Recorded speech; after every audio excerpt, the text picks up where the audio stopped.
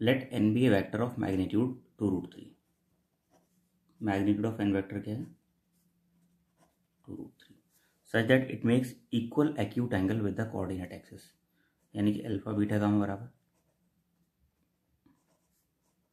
मान ले थीटा के बराबर। हमें पता है? Cos square alpha cos square beta plus cos square gamma कितना होता है वन होता है? तो cos square theta square theta तो three cos square theta is one तो cos square theta is one by three acute है ना? तो कॉस थीटा इज़ प्लस का one by three theta is acute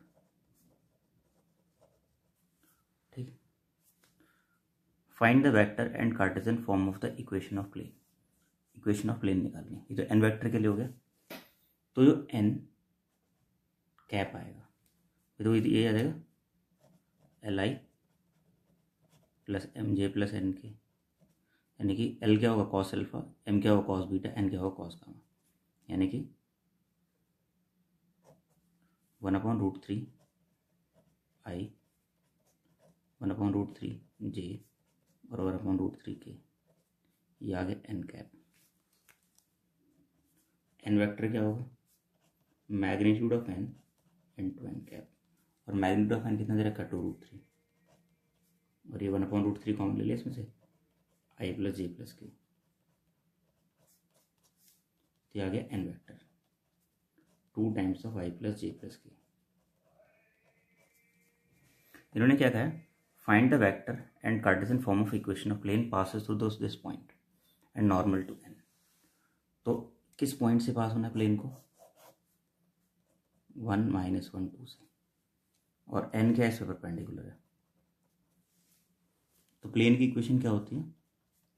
R dot n is equals to a dot n a मिल जाएगा हमें क्या? इससे। और एन हमारे पास पता है। Two i two j plus two k a a कितना आ रहा है? I minus j plus two k और एन क्या है? Two i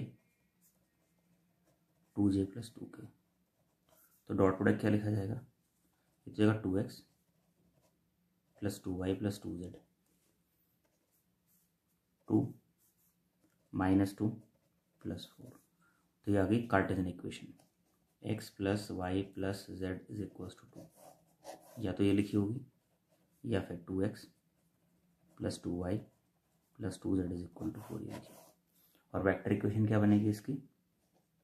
R dot i plus j plus k is equal to two या फिर r dot two i plus two j plus two k is equal to four. ये ये। ठीक है?